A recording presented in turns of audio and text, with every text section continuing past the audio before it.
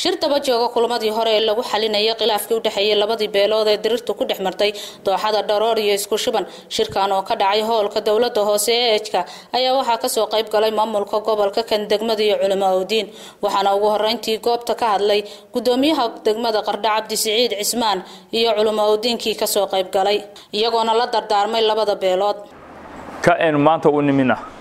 Waxaa loo ballansanaa in dhammaan dhaawacyadii kala gaaray labada qaybood in lagu simo halkan. Waxaan rajaynaynaa dhaawacyadaasu maanta in simidooda halakan ay ku dhammaadaan insha allah haddii ay suuragal tahay. Shirkeennu xooggiisu wuxuu daaran yahay intaas weeye oo maanta laysugu yimi oo culimmada iyo gudiyada waxaa ilaaba gudiyada raalli lahaada guddig baa jiray ilaa maalintii halkaa ku jiray. Guddigii ilaa maalintii uu dagaalkaasu halkaa ka dhacay rag baa fadhiyey aan guryahoodii ku noqon aan meel kale ku noqon ciyaalkoodii ilaawey oo haddeer horteenna fadhiya. Waa u mahad celinaynaa guddigaas oo runtii qayb libaax leh ka soo qaatay. Maanta waa maalintii la simaya dhaawacyada labiyo toban dhaawaca iyo sagaal nin oo tuhumada waxaa fadhiya culimmadii qudaadda ahayd sheekh axmed daahir xasan xuseen iyo sheekh xasan bookh oo ku simaya dee ilaahay kitaabkiisa subxaana wa tacala dhaawacan in loo simo xaqooda. Laba iyo toban dhaawaca toban dhinaca iyo laba dhinaca iyo sagaal nin oo tuhmad loo qaba inay wax sumeeyeen oo tuhmad ah culummadu ay maaragtay labadii beelihii walaalahana kulli ay wada joogaan xaaladuna ay noo fiican tahay. Wanaag iyo khayr iyo nabad iyo wanaagna noo socda. Ilaahayna aan weydiisanayno in niyadeenna alla noo qabto ay guul ku dhammaatay siday guusha ugu bilaabatay. Ummaddaa dhaawacantay iyo ummaddaa dhimantay waxoodii in la siiyo. Insha allah marka aan faysaska dambe u gudbi doonno wixii shareecada insha allah waqti munaasiba ka dhaharay.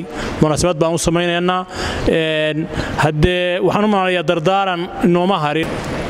Afar munaasabadood baynu u qaybinnay hal bileed bil saddex bilood lix bilood iyo labiyo toban bilood tii labaad baan hadda ku jirnaa labana waynoo harsan tahay runtii waxaan ilaahay subxaana wa tacala ugu mahad celinaynaa kuna ammaanaynaa ummaddii ka shaqaysay mid kasta xilligeedii iyo wakhtigeedii bay ku qabsoontay.